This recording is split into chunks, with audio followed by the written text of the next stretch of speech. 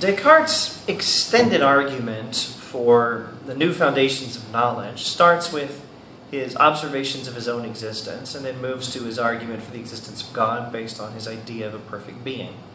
Then it moves to his argument from God's existence and perfection and from his strong tendency to believe in common sense things like the existence of the world outside the mind, the reliability of reason as a source of knowledge, the senses as a way of accessing the world inside the mind and gaining knowledge about it, to the conclusion that these instincts are correct, that they should be followed, that the instincts to believe are instincts to believe in things that are true, and that accordingly we can get knowledge of the world outside the mind from the senses that the world inside the mind does exist, that reason is reliable, and so on.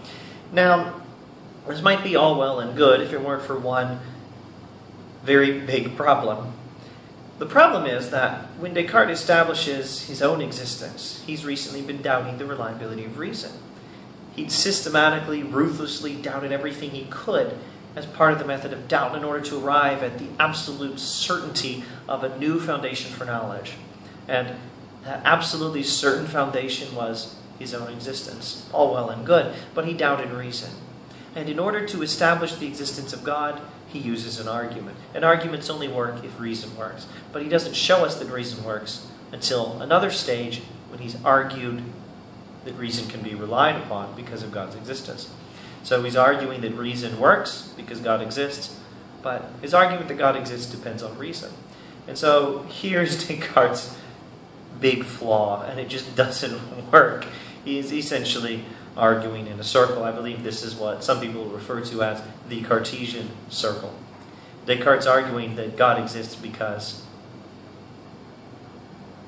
I have a good argument for it, he says. And that argument only works if reason works.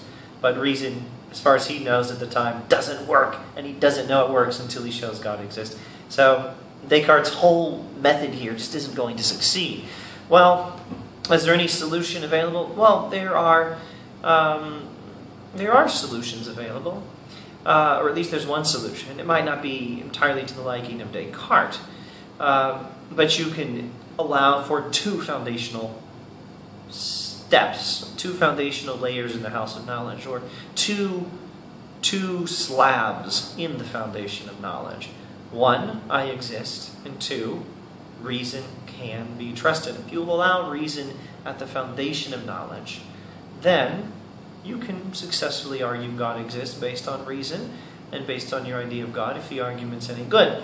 And then you can argue that God exists um, and argue for all those common sense instincts and so on, and maybe reinforce the reliability of reason, but uh, not demonstrate it because that's circular reasoning. Uh, so this, this might work, but of course, uh, if that does work, any problems with his argument for the existence of God become more significant. They have to work. Now, it seems the, the first argument he uses doesn't work, but um, keep in mind he does have other arguments for the existence of God based on his idea of God. There is a somewhat more, more traditional style ontological argument to consider that he offers as a supplementary argument in the Meditations. So, uh, Descartes does get involved in this huge error, this bit of circular reasoning, and so he fails to establish knowledge on a new foundation. But a modified Cartesian philosophy is not necessarily excluded. It just has to be one that accepts reason as well as the existence of the self as a fundamental slab in the foundation of knowledge.